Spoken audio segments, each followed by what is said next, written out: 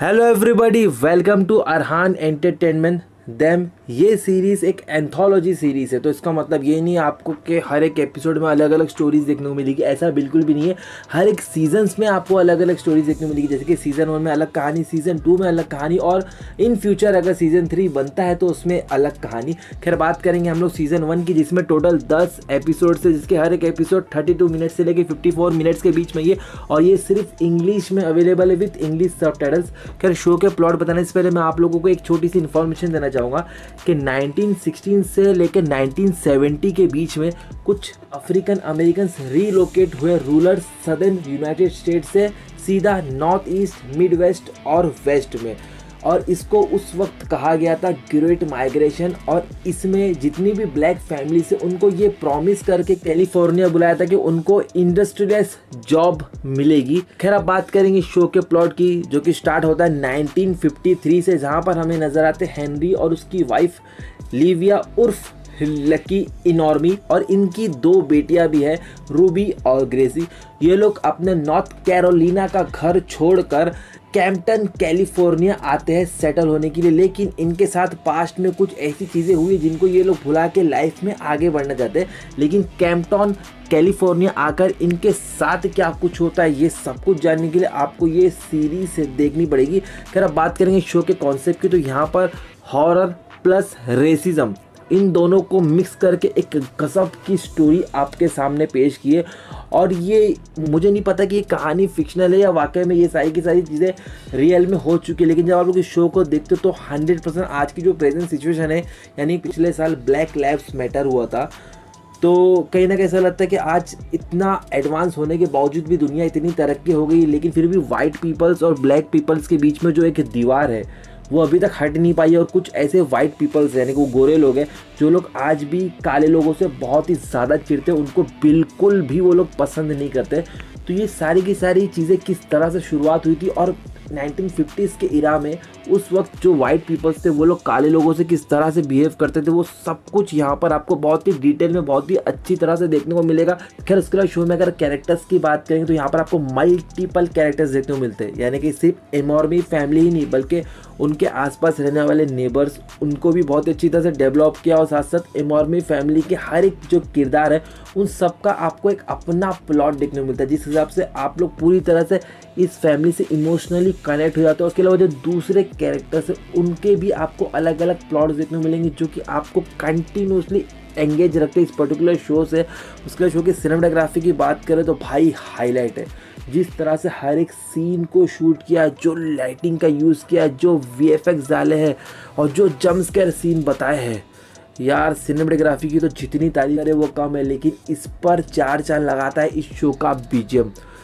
वाह ज़बरदस्त बीजेम हर एक एपिसोड में आपको एक अलग तरह का बीजेम सुनने को मिलेगा, जो आपको उस इरा में वापस लेके चलाया था उसके अलावा इस पूरे शो में आपको अलग अलग सॉन्ग सुनने को मिलेंगे, जिसके जो लिरिक्स है, वो काफ़ी पावरफुल है और वो सॉन्ग इतना इफ़ेक्टिव लगता है इस पर्टिकुलर शो में। और जिस तरह से उन लोगों ने यूज़ किया, वो सॉन्ग की वॉल्यूम को कम ज़्यादा और उसके टोन को जो लोगों ने यहाँ पर चेंज किया है भाई रोंगटे खड़े हो जाते जब आप वो सॉन्ग सुनते हो तो और उसमें वो सीन्स देखते हो तो। एक सीन है जहाँ पर मतलब यार एक छोटे बच्चे की डेथ बताया। वो सीन को इतना अच्छी तरह से शूट किया कि वहाँ पर आप लोग, वो जो लोग जो बच्चे को मारते हैं ना तो उनके अंदर ना आप ईवेल देख पाओगे। मतलब उनके एक्सप्रेशन के थ्रू या मतलब यार आज I don't have any words के यार इस शो की चीज़ों को किस तरह से डिस्क्राइब करूँ। उसके अलावा शो में आपको काफ़ी वॉयलेंस देखने को मिलेगा, काफ़ी सुपर नेचुरल चीज़ें देखने को मिलेगी, काफ़ी ऐसी चीज़ें देखने को मिलेगी जो मतलब आप लोग सोच भी नहीं सकते और वो सारी चीज़ें कहीं ना कहीं आपको रियलिस्टिक भी फील होती है, जैसे शो आगे बढ़ता है। उसके अलावा एक एपिसोड आपको यहाँ पर मोनोक्रोम में भी देखने को मिलेगा, यानी कि ब्लैक एंड वाइट में, लेकिन वो एपिसोड इतना इंटरेस्टिंग है और वहाँ पर चीज़ों को इतनी अच्छी तरह से एक्सप्लेन किया है कि यार क्या ही बोलूँ मैं। उसके बाद शो के जो स्टार्टिंग के चार एपिसोड है, वहाँ पर चीज़ों को धीरे धीरे धीरे धीरे बिल्डअप किया है, लेकिन जैसे ही फिफ्थ एपिसोड आता है, वहाँ से चीज़ें रिवील होना स्टार्ट होती है और फिर वहाँ से आपका इंटरेस्ट भी ऑटोमेटिक और भी ज़्यादा दुगना हो जाता है। अगर एक्टर्स के परफॉर्मेंस की बात करूँ तो यहाँ पर हर एक एक्टर ने अपने हिस्से के रोल को बहुत ही अच्छी तरह से किया जैसे कि फॉर एग्ज़ाम्पल डेबोरा जिसने यहाँ पर लकी एनॉर्मी एमॉर्मी का रोल प्ले किया उनका किरदार कुछ इस तरह का था कि वो रिएक्ट करने से पहले एक्ट करती थी। और कहना पड़ेगा कि पूरे शो में डेबोरा ने मेरा दिल जीत लिया। भाई द वे शी परफॉर्म्स यार। मज़ा आ गया। और अलग अलग प्लेयर थे उनके पर्टिकुलर रोल में और उन्होंने बहुत ही अच्छी तरह से बहुत ही उमदा निभाया। और यहाँ पर एलिसन थॉमस जिसने यहाँ पर हेनरी का किरदार निभाया, कहना पड़ेगा उनके पास भी बहुत ही चैलेंजिंग रोल था। और वो एक ऐसे फादर ऐसे हस्बैंड का रोल प्ले करे जिनको अपनी फैमिली को प्रोटेक्ट करना और साथ साथ उनको ऐसी जगह पर रहना जहाँ पर सारे लोग उनका मज़ाक उड़ा रहे सारे लोग उनके खिलाफ है, सारे लोग उनको पसंद नहीं करते। अब ऐसे में वो किस तरह से अपनी फैमिली को प्रोटेक्ट करेंगे और साथ साथ उनके पास्ट में उनके साथ जो एक ट्रॉमा हुआ है, जो चीज़ हुई है तो उसको वो भुलाना भी चाहते हैं। यानी कि सेवरल चीज़ वो पर्टिकुलर कैरेक्टर फेस कर रहा है, लेकिन फिर भी वो किस तरह से हंस रहा है, किस तरह से बोल रहा है, वो सारी चीज़ें स्क्रीन पर उतारना भाई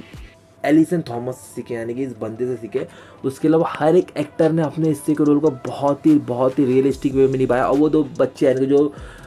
चाइल्ड एक्टर्स हैं उन लोगों ने भी बहुत ही अच्छी काम किया है और शो की एडिटिंग भी अच्छी तरह से की गई है, लेकिन शो एक वक्त ऐसा आता है जहाँ पर थोड़ा स्लो हो जाता है। लेकिन वो शो की नेगेटिविटी नहीं है यार मतलब वेब सीरीज़ से आप लोग थोड़ा बहुत एक्सपेक्टेशन रखोगे कि कहीं ना कहीं तो वो एक ऐसी जगह आती है जहाँ पर वो थोड़ा स्लो पड़ जाता तो ये शो में भी वैसा ही होता है। डायरेक्शन मुझे बहुत अच्छा लगा, लेकिन एक चीज़ कहनी पड़ेगी कि जब ये पूरा शो आप लोग देखते हो तो आपके माइंड में एक चीज़ आती है कि कहीं ना कहीं ये जो ब्लैक पीपल्स है उनके नज़रिए से इस शो को बनाया है, शायद, क्योंकि सारे के सारे वाइट पीपल इतने बुरे उस दौर में भी नहीं थे और मेरे ख्याल से इस दौर में भी नहीं है क्योंकि देखो, जो गंदे लोग होते हैं जो बुरे लोग होते हैं वो समाज का एक हिस्सा है और वो क़यामत तक चलते रहेंगे। तो इसका मतलब ये नहीं कि एक रिलीजन में कुछ लोग गलत है या एक सभ्यता में कुछ लोग गलत है तो पूरे लोग गलत है, वैसा हो नहीं सकता। तो यहाँ पर मुझे वही चीज़ नेगेटिव लगी कि शायद पूरे वाइट पीपल्स को यहाँ पर बुरा बता दिया। तो ये मेरा अपना ओपिनियन है। पेरेंटल गाइडेंस के लिए इतना ही कह सकता कि ये शो आप अपनी फैमिली के साथ मत देखना, क्योंकि इसमें कुछ किसिंग सीन है और वायलेंस के सीन्स बहुत है और कुछ ऐसे सीन है जो मतलब बच्चे और बूढ़े ना देखें तो ही बेटर है। मैं इस शो को रेटिंग दूँगा nine out of ten definitely it's an watchable show तो यार, बस इस वीडियो में इतना आई होप आपको ये लंबा बोरिंग वीडियो अच्छा लगा होगा। अच्छा लगा तो लाइक करो और वीडियो पूरा ज़रूर देखा करो। सॉरी यार डिटेल में समझाने के चक्कर में ये सारी की सारी चीज़ें हो रही तो यार, मुझे माफ़ करना। मैं खुद नहीं चाहता इतने बड़े वीडियोज़ बनाना। तो मिलते हैं नेक्स्ट वीडियो में। तिल देन बाय